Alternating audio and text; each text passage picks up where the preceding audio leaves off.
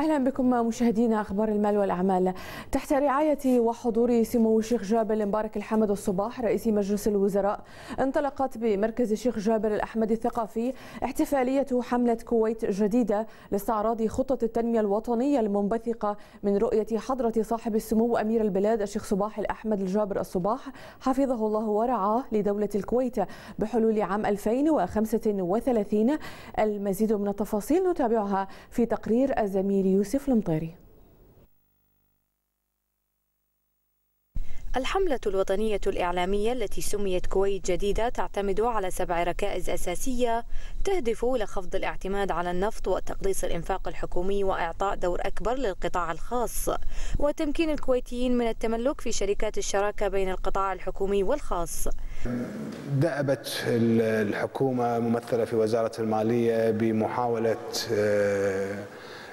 وضع ميزانية فعالة ميزانية فعالة في إنفاقها ميزانية تحافظ على مقومات العيش الكريم للمواطنين ميزانية تحافظ على الإنفاق الرأسمالي وتحاول قدر الإمكان أن تحد من الإنفاق الجاري الذي يمكن الاستغناء عنه. ومن جانبه قال وزير التجارة والصناعة خالد الروضان أن الاقتصاد حقق قفزات عديدة كزيادة الاستثمار المباشر بنحو 300% وجذب 400 مليون دينار في قطاع تكنولوجيا المعلومات والاتصالات. فاحنا نتكلم عن ترخيص إلكتروني يجب أن يكون موجود وموجود بالخطه، نتكلم اختصار الدورة المستندية، حوكمة الإجراءات، توحيد وتطوير انواع الرخص وكثير من الأشياء. ممكن لأطراف كثير هي بسيطة لكن سوف تعمل فارق كبير بالاقتصاد. ثانيا عندنا الاهتمام بالمشاريع الصغيرة والمتوسطة وليس فقط هو من خلال تمويلها. بل خلال دعمها ورعايتها وتوفير البيئة المناسبة لهذه المشاريع. وليس هي مسؤولية فقط الصندوق الكويتي للمشاريع الصغيرة والمتوسطة هي مسؤولية جميع الإجراءات ومجلس الأمة وتحسين بيئة الأعمال.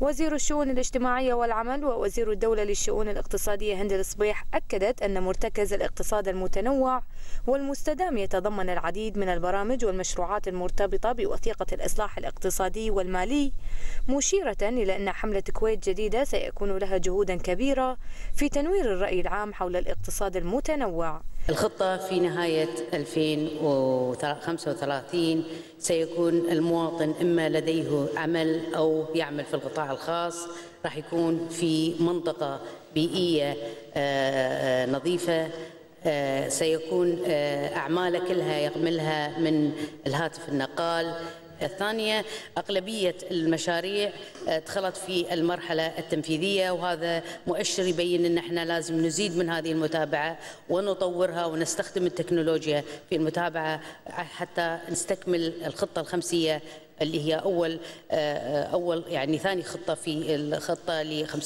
2035 نستكملها إن شاء الله في طبعا اللي اللي ما يعرفون. وفي الختام تم عرض فيلم تسجيلي يوثق أبرز المشاريع القائمة والمنتظرة ضمن ركائز وبنود خطة التنمية التي تحدد رؤية الكويت لعام 2035